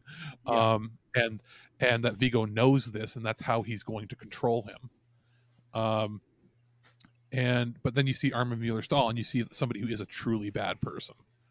Um and then same with uh there was who was the the, the i forget the character's name but the barbershop owner and his his um his handicapped or whatever his name was. yeah, and his handicapped uh, nephew, who he gets to perform the murders. Which, like, for an opening scene for a movie, that's pretty. It's like wow, that was a very Martin Scorsese esque effect, I think, for it. Um, then, eh, like, it it strays a bit from the like Scorsese's Coppola style of uh, gangster film in that it does focus more on like it's 50-50 it's 50 with uh, mortensen and 50 with naomi watts' character. And you realize like her family like her mom's good but like the, the uncle talk about a character. Yeah, he's he's an interesting character. Like he's clearly racist, right? but he, he he means well for her but he says things because he's either from that generation or how he's grew, how he grew up like some of the lines he says there i'm like oh my god and i remember seeing in theaters seeing that like where's your boyfriend why isn't it here and he's like well black men always run away and, yeah, and the, holy crap, yeah, yeah, yeah. Oh, the, oh yeah, and then there's that, that that dialogue he has with her. He's like, and he just sips his his his vodka, next line out of his mouth, like at, at their Thanksgiving dinner, is it's either Thanksgiving or Christmas dinner, or something like that. He, is well, and that's that's why your your baby died inside you. It's not good to mix blood. yeah, yeah. Oh, that was the most shocking one. Yeah, it's like yikes. Yeah, and he's like, "What? What? She needs to hear the truth." And he's they kick him out for the day. But, but then again, he's not like this horrible evil person because right after that, he starts to translate the diary, and he's like, "You need to stop, and you need to burn the book and get rid of it, and never and forget it even existed." Because he's Yeah, because he- you're he- in danger now. he, yeah. he knows the people involved and like he always talked about how he, he used to be an fsb agent and all this like and they always took that as like oh he's he's pretending he's boasting he used to be kgb he's like yeah yeah uncle stepan you're full of shit and then you know viggo was told to kill him because they re- because they realize he's the one that translated the book and he, instead that's when you realize that he's not a viggo's not a bad guy before he, it's revealed that he's a, an undercover agent instead of killing him he sends him away to i think it's scotland uh, or, or like he sends him up north. You know, don't tell anybody. And when he tells her, she's like, "I need to know what happened to my uncle." He's like, "He's up there." He goes, "He's old school. He understands." So Mhm. like he like he paid him a visit, and like you could tell he didn't even have to really convince him much. He's just like, "You need to go." and here's where you're going, and don't come back for a while. so uh, there's more that happens. I was fascinated by how the like we've seen initiations into the, the Italian mob, the, the idea in movies like they, they prick their finger, and there's like a blood oath and all that sort of stuff. And this is different. Like they dress you down, they see, they check your reactions, they want to make you like a blank slate, and then they, if they determine you're in, that's when they give you your tattoo. And once you once you're tattooed, you're in. Like you're not out. But the whole reason for this is as a ploy to get him to be killed as a uh, as a proxy for uh, and a patsy for for Kirill's mistakes. Um, but you know, obviously he survives, and and we get probably the most harrowing thing I've seen in a movie ever, which is the which is when they realize that Kirill has been sent to kill the baby. Yeah, that was a surprisingly intense scene where that actor is like, I don't want to do this, baby. Like, you did nothing wrong. I'm sorry. Please forgive Well, me. and that's you can see like and that's where it's revealed that it's clear like he as bad of a character as he is he's not a truly evil person yeah, he's not a because he's- monster. he, he's down there at the do- at the beach or at the, the water where he had seen before that's where he was told is the best way to kill someone and he's crying because he he's having so he's even getting like muscle contractions because he can't bring himself to kill the baby but then Mhm. he, he but then he thinks he has to and you know and, and normally Viggo nobody would say anything against him, but he says your father's gone too far. We don't kill babies. And like you kill people, whatever, you don't kill babies. And then then you that's and he gives him the ultimatum, it's your father or me. And that's his in. That's how he's going like from the shadows, he's technically going to control the family and also direct them towards uh you know eventually I guess getting shut down by the the FSB and by Scotland or at Yard least you know controlled. Yeah yeah the, the idea is maybe maybe keep it open like have he he won't be the guy technically in charge but it's quite clear he has full control over the family. Yeah. and it, and it ends it actually ends on mostly a happy note when you consider it like and and uh, you want to talk about characters as well just sort of finishing this out is armin mueller stahl's character like you can see where the dynamic is why his relationship with with Kirill is so bad. It's because it's Kirill is obviously gay or bisexual but how many times in the movie does armin mueller stahl's character constantly talk about how he doesn't trust the, the blacks and the queers and all this stuff um, so it, it's it's clear that he could never come out to his dad, or his dad would just kick the shit out of him. And in fact, all this craziness that happens is all simply because, like, even the, the diary might not have happened the same way. All this happens because the character at the beginning of the film that gets murdered in the barbershop um, made an off comment that he he called uh, Vincent Cassel's character queer. So he's murdered for that, and that's what sets all this chain of, of events in motion. So it, it's very it's even like the the italian mob that way very closed circuit very uber macho. You don't like mess with our pride. You don't mess with you know who we are yada yada yada. Uh, and I, I did like that it was a fascinating look at, at how that culture is i love the scene where they're doing the birthday party for the 100 year old lady Oh, they're yeah. singing they're singing and bringing out all the food and how much color it is and how they all seemed happy and and all this and then in the meantime they're also doing all these back back street dirty deals at the same time Mhm, mhm. uh, One thing I think this movie did really well, it set a great atmosphere up. Like it set a believable world that was filled with tension and danger from all different sides and I don't know, that there's a lot to like about this movie more so than I thought and I I thought the bathhouse scene was particularly Oh, intense. I, I forgot. How could we forget the most?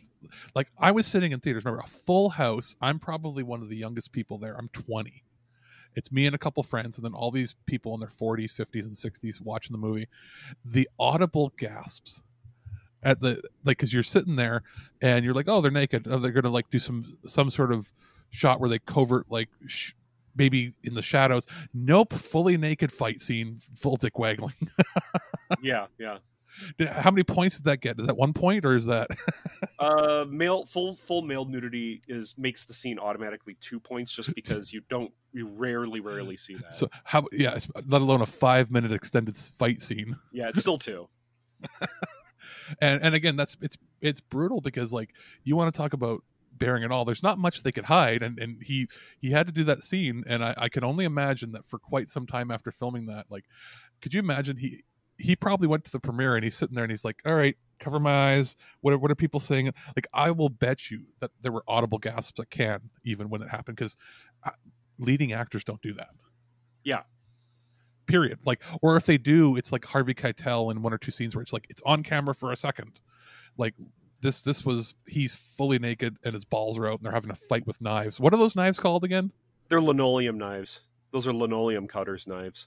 Yeah, and just that was it was it was surprising and i'm like how did that not get an nc-17 in the states and i wonder if maybe it had a scene cut or something maybe um, it's because male nudity when it's not in a sexual context is kind of the same as female nudity when it's not in a, in a sexual context they, they, it's not going to get like an nc-17 it'll be r but it won't be nc-17 maybe he should feel offended because maybe he wasn't much of a hanger.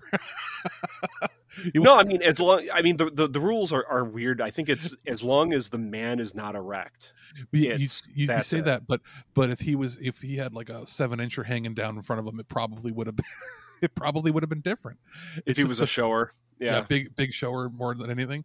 Uh, because I mean even in like the Suicide Squad movie, there's a full male nudity scene, but that's only like one second. Yeah, there's one in what 28 days later, technically. Yeah, I, I, just I think this is this might be in a mainstream movie the, the longest extended scene I've ever seen. It's probably the only fight scene because think of the last time I saw a bathhouse fight scene in a movie was John in Wick. No, uh, oh maybe that, but that came after. Um, yeah. But no, I'm thinking um, Arnold Schwarzenegger uh, versus Sven Thorsen in uh, uh Red Heat the opening scene. They're in a, a, Russian bathhouse and they fight, and somehow those towels never come off. They're fighting and kicking each other through the snow and out out the building. Nothing happens. But I guess that's the difference between 1988 and 2007. uh, but yeah, I mean, other than that, it's again a film that doesn't feel like a Cronenberg movie at all and I, I don't know i loved it just because i mean it's maybe yeah. the maybe maybe the fact that he went with the the male nude fight might be the only thing that would make you go okay that's cronenberg. But nothing else here like even the gore that's in it the violence there's nothing in this that is like typical of his like focusing on a gory scene. The violence happens and it's realistic. Yeah. I'd say that's a pretty good assessment of it. I think the real horror is about killing the baby like yeah. the, just the it's the buildup yeah. that you know that somebody's going to try to kill the baby, killing the baby and the the sex slaves. Yeah, and how he, that was pretty horrific. Yeah, like he's he's forced to have sex with a girl who's been drugged up on heroin, just forced to do it to prove his loyalty. But in reality, it's because Kirill wants to see him naked. Um, and, but you find out at the end that he found out her name and he got her out. How how a lot of this happened was they Kirill mentions he's like, "What? Can you believe what happened? I don't know how this happened." They busted up the uh, the the whorehouse, and she got back to her home. So he did get her out, even though like he was forced he was forced to partake, but he got them to all get home. And that's sort of it's said in the background, but you don't like see it happen. It's just it's so it's like that's another thing where it's like okay so he is a good guy but again he's like if he's not going to do it if if he gets caught or gets killed who's going to be able to work their way in again to actually get these people out? So he has to keep going. Yep. He, and, yeah he's the right man in the right place at the right time. Yeah so again very multi-layered. Nobody's like nobody is just you know one dimensional everybody has depth every single character in this. So uh, I, i'd say this is again, you don't have to be a big fan of his work. This is a film that anybody can watch as long as you're okay with some of the subject matter. Um, Naomi Watts puts in a good performance; they all do, and um, I, I, was pretty happy overall with how everything turned out. And then after this, we skipped uh, his later films because we don't have time before Halloween, and also, like, I'll give you just a brief rundown of what they are. Right after this film, uh, he took three years off and then ended up filming A Dangerous Method with Viggo Mortensen. Uh, Keira Knightley and Michael Fassbender, and Vincent Cassel came back as well. And it is about the start of the talking cure, the talking method of uh, psychoanalysis and love triangle type stuff with uh, Michael Fassbender's Carl Jung becoming embroiled in a sex scandal with uh, Keira Knightley, uh, who is one of his Russian patients. Mm. Uh, good movie. Very has a hilariously bad piece of CGI when they show like their boat coming overseas. It was really bad CGI. Um, probably because the film's budget was like a third of what this previous film was. Uh, but it's worth watching. It's just a normal drama. Um, again, not very Cronenbergian. Uh, then after that, he did Cosmopolis, which is the most Cronenberg film I've seen in a very long time. Uh, this stars Robert Pattinson in his first big role outside of doing the Twilight movies, and he did that movie on purpose because he was so pissed off at being typecast as the teen vampire. And it's him, Paul Giamatti, uh, Juliette Binoche, and a bunch of other actors that you'd see as character actors. Uh, the, almost the entire film takes place in a limousine that he's in as the world is ending around him, but he doesn't realize it. And just weird Cronenbergian type things happen to him while he's in there. Um, worth a watch. Very weird. I saw it in theaters, and I ended up getting my money back because uh, some guy was th- had like a fit, like through had like a had like a meltdown while watching it. Like wow, yeah, like there. It turns out there was somebody who was actually he was out to go see a movie, but he was out from like the actual mental health hospital we have here, okay. and he he he just had like a complete breakdown halfway through the movie, and they had to stop the movie and escort him out, and he went back to the hospital, and I was like, what? Why didn't they let him go see like a kids movie? Like he was somebody who was an inpatient that was out for the day, and after they came in and talked to us, we all ended up getting like extra free tickets and stuff because it I'll talk about it off air with you guys sometime, but it was it was strange what was happening while watching the film, and I almost feel like was it Cronenberg's film doing it to him. um, wow. So that one I ended up having to watch a second time on video when it came out. Uh, and then his last film released in theaters was uh, in 2014, Maps to the Stars, which is I think based on another book. Um, and that film is about weird people living in the Hollywood system.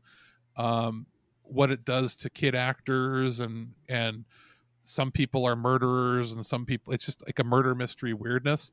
Uh julianne moore um who's in it else is in it? John cusack olivia williams robert pattinson's back again uh and a bunch of other character actors pop up throughout it. Uh carrie fisher appears as herself. I remember that. That was weird. Uh and that one's uh, again another low budget affair. And people thought that uh, he was sort of going to retire after that because it was just a, another sort of artsy film he liked based on a book. And then flash forward to last year, and he's like, "I'm going to make a movie." and I think he's also this year starring in the season four of Slasher, the TV show. He plays the patriarch of a family on an island who is going to. He's brought them all to the island to talk to them about how he's going to divvy up his wealth once he's dead, and then people start getting murdered. So it's, it's classic slasher type story. Um, and then obviously he's in uh, Star Trek. He's actually going to be in this new season of uh, Discovery again, apparently. Yeah, um, he was the best part of season three, and he's going to be in season four. So he's more active in the last two to three years than he's been in ten years or more. So that sort of brings you up to date in what we saw, I, and you can sort of see why I picked the ones I picked. Uh, do you guys have any closing thoughts on like how each decade is sort of different or how his films sort of he has like in my mind he has sort of an ebb and flow of the kind of films he makes? Yeah i mean i think for me i like him when he does horror movies. I think my favorites if i had to rank my cronenberg movies in terms of my favorites like pick I'd three that you that you'd like. The dead zone uh scanners and videodrome would probably be my top for yours? three. Yes, and honorable mention would go to History of Violence. Okay, so in your case, you like the three movies he made from 1981 to 1983. Hmm. Um, for me, before Aaron goes, I think mine would be um, after rewatching Scanners and Videodrome. I like them, but not the same as I used to. I would say mine would be the Dead Zone, um, the Dead Zone, Eastern Promises, and we could flip anywhere between um maybe eXistenZ wow. i sort of like I, I like one from each decade if that makes any sense maybe. Um okay. yeah and that's and again that might change but for the top two for me are eastern promises and the dead zone. I would say my top is easily Eastern Promises, and then uh, Shivers and Rabid. Okay. Um, yeah, everything kind of in between there. Like I liked Scanners, but it's not in my top three. Um, yeah, the, the the early stuff and then Eastern Promises. That just those are the ones that really stood out to me as the ones I, I enjoyed the most. And So basically, there's a 30 year gap where you didn't care for a lot of his stuff. yeah, I mean, right after right after Rabid, I mean, you have the Brood and Videodrome. I mean, Scanners breaks that up, and both of those movies, I just had to turn off. Like I, I I'm done. I can't. Yeah. I can't do it anymore. I know we didn't watch uh, the Dead Zone for this, but we did briefly talk about. it. Have you seen that film? I have. Yeah, that one. It, it, I as much as I like it, he didn't write or produce it, so it might not count as a Cronenberg film, except that it's right in that era when Stephen King books were getting pretty decent adaptations. yeah, Um, and I mean, as far as I remember, like, we didn't watch it for this. Obviously, we, you already said that, but Yeah. from what I remember, I thought it was okay. Um, I probably haven't Yeah. seen it in 20 years. It- it- would be I, I've worth already said that I hated The Fly. So Well, th- yeah, this is there's no gore in this film at all. So it, it's it did something right in that it was so well uh appreciated and liked that when they did do the adaptation for I think it was the USA network had the TV show. I don't think it was the Sci-Fi Channel. Maybe it was at the end, but they did I think 6 seasons with Anthony Michael Hall as the uh, the titular character. Uh, they did bring back Tom Skerritt for that. Um, and there were some parts that that sort of tied it loosely together. Um, I know that for a long time it was one of the only Stephen King adaptations that Stephen King himself actually liked. I know he notoriously didn't like uh, The Shining, which is hilarious because when he made his own version, it was terrible.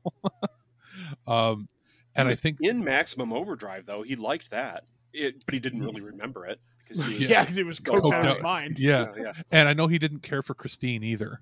Um, I think the only ones he liked of the of that era that are considered classics to everybody else as well was the Dead Zone and Carrie. I th- I think he liked Pet Sematary, but I'm not 100% sure on that. Yeah, like there, there was so many of his adaptations that didn't really hit, but I I think one of the reasons why I like the Dead Zone is not just the concept, but it's the first film where we saw Christopher Walken talk with his iconic Walken voice.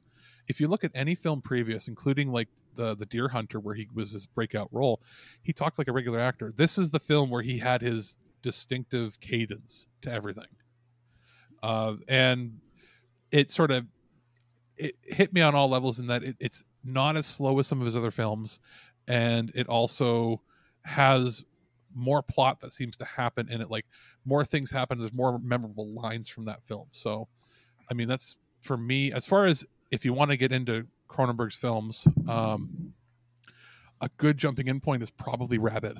If you want to see like a true Cronenberg style film, yeah. Or And I thought Rabid was great.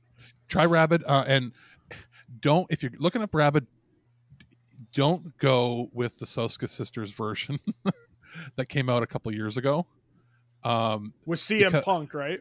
Yeah, CM. Who else is in it? Laura Laura Laura Vandervoort and CM Punk and the wrestler and some other people, and it it got decent reviews when it came out. It looks bad. It's got a 55 on Rotten Tomatoes, but like among like Fangoria and all that, they loved it. And I'm like, no, if you're gonna remake an original like what's considered a masterpiece of the 70s horror fi- uh, films, it- you you have to do it right. But you, I, you know, I'm sorry, Aaron. Go ahead. No, no. I was I was gonna say that, it, but if you want my like favorite Cronenberg appearance, Nightbreed. Yes. where he play, where he plays a serial killer. Yeah, Yeah, amazing Uh, movie. Jason X is my favorite appearance where he gets speared through the gut. That was Well, awesome. Well, I mean, he, he hadn't done a, a you know a heck of a whole ton. Um, what else was he in? He oh he he directed an episode of Friday the Thirteenth, uh, the series called Faith Healer. That might be interesting. Seeing what he could do within the constraints of cable television at the time in the eighties. Um, as far as other acting stuff, yeah, he's you can see him now in Slasher and in, in uh, Star Trek Discovery. Um, I'm assuming he's going to have a lot more stuff coming out. We'll keep an eye on Crimes of the Future. I'm I'm going to assume it's not going to be as cerebral as his student style film that he made in 1970, because you, you couldn't make that today with all the actors that are in it. Uh, it says it's a horror film, so I guess this will be his first official horror film since like 1986 on paper. Everything else has been a thriller or a drama. Because I don't think eXistenZ is a horror film. That's like a sci-fi thriller, right? I'd call it cyberpunk noir in a weird way, if that makes any sense. Yeah, just because there's like- the heavy investigative angle, but there's also here's a gun made of chicken bones because why not? Yeah, and I know Which is actually on display, I think, at the TIFF uh, museum because I, I I did a little bit of research into this last night, and the gristle gun. There are quite extensive photographs of this thing existing in various uh, positions of assembly, but I think the original prop still exists. Yeah, wouldn't surprise me. I mean, well, it. He lives in Toronto. I mean, it would probably be at some place at one of the studios he made. Um, I know that we'll conclude this on his newest film, Crimes of the Future. Principal photography ended on September 10th, so they're done that. I don't imagine there's going to be a ton of special effects that need to be done or ADR. So I'm going to expect this movie to probably come out this coming summer. I, I, I can't see it needing more than six months of post production unless there's major major problems. But like the cast in this, um, you've got Scott Speedman. I haven't seen him in anything forever. Uh, Kristen Stewart and Viggo Mortensen, um, and a few of the other character actors that he usually has in his films. So we'll be checking that out. I, I guess we should probably close this out with uh, this has sort of been our month of Halloween Cronenberg episodes. Uh, so happy Halloween. I hope to get this out in the next couple days. Uh, any final thoughts from you two? Uh, I mean, it was a fantastic experience. I can definitely say he's not my favorite director. He's fine. I am glad I got a chance to experience this. I'm glad I got a chance to really get exposed to his filmography. Uh, next next month uh, on Loose Cannon, we're going to be taking a look at the Highlander franchise. We're going to talk about the movies, the TV show. There was even a video game uh, that was made for, I think the what was it, Alex? The Sega Saturn Uh, or something? no, it was the Atari Jaguar CD. Ah, so we will be So talking about a system that weird nobody can get or play. yeah, and if you get one, it doesn't work. Um, so yeah, we'll be talking about that, and then we're just going to lead up to holiday gift guide that'll be coming up in just over a month and I- change. I- and I know that we're talking sometime uh, in December before Christmas. We'll do an episode on was it Santa Claus conquers the Martians. We'll do that with uh, the two of us, Aaron and Darlene, probably uh, as a, bit of a crossover fun because I've never actually seen that film. Oh, it's it's it's a chore. it's, Okay, but it's it's may- a fun chore. That's maybe- the thing. It, it's maybe a crazy movie. Maybe we'll pair that with something. Uh, so it's a bit of the '50s and maybe something. Have you seen Krampus before? I have. Okay, maybe we'll. See, I'll I'll try to find another Christmas themed one that we can watch, or maybe I don't know. Maybe uh, do you know of any uh, Hanukkah based horror films? Oh my God, no! Eight Um, crazy nights. um, I, what? I, No, there's. I was I was gonna make a bad joke and say uh, Schindler's List, but that's Oh, that's no. dark. Oh, that's a that's dark dark, one there. yeah. But no, I was gonna say that I don't think there is one. Like there hasn't been like a a a horror film because there's a horror film for basically every type of holiday you can imagine and every regardless of of religion or that but i just don't think i've ever heard of one that's like a specifically jewish holiday horror film I think we there could- might we- be, but I'm not sure. we could do um, the Discworld Hogfather uh, What kinda TV that? show. It, well, it's it's look up Discworld Hogfather. It's a sort of holiday um, thing dealing with death as one of the main characters. It's yeah from the Discworld, Terry Pratchett's Okay. Discworld. i'll take a look and see if we can get a hold of something there and if not we'll find something else that like santa claus conquers the martians is i believe in public domain we can probably grab a couple things because it would be nice if we could talk about something that we can pop up on youtube and anybody can watch Yeah, sure. because I know there's been like a Criterion release of the Santa Claus one, but um, I'm sure that, I'm sure there's something strange and weird we can find that we can do and talk about that'll be fun. Uh, and then I guess we're back to normal come January, Mike. Is that the idea? Uh, but so yeah, we're probably going to come back uh, second week of January, so we get um, about a month and change off. But we will have content for Stargate and some other stuff uh, coming out during that time. We're just gonna we've just been delayed a few weeks in getting started just because. Um, Lots of stuff going on. yeah, yeah. There's just a, a lot of moving parts we didn't quite anticipate. So uh, things are going to be coming along. Don't worry, you will be hearing stuff before holiday gift guide before too long. Alrighty. So uh, I guess should I close out the show, Michael? Yes, you should. So for loose cannon, I've been Mike the Birdman. Uh, I'm Aaron Pollyea. And Alex, the producer. I will be editing this and we'll be having it out so you can listen before Halloween. Good night, everybody. Are either one of these any good? Sir, What? are either one of these any good? I don't watch movies. Quick! Change the channel! You're wasting your life making shit! Nobody cares! These movies are terrible! You're still here? It's over. Go home. Go. At no point in your rambling, incoherent response were you even close to anything that could be considered a rational thought. Thanks for listening to this episode of This Week in Geek. Hungry for more? Check out our website at thisweekingeek.net. You can subscribe to the podcast, browse our Twitter and Instagram, and leave your thoughts on today's topics. If you'd like to give us some feedback, send us an email at feedback at thisweekingeek.net. Tune in next time, and remember, shields and surrender your listenership. We would be honored if you would join us. Thank you for your cooperation. Good night. What can I do to make your lunch more pleasant? I found this in my soup, and I'm very upset. Ugh.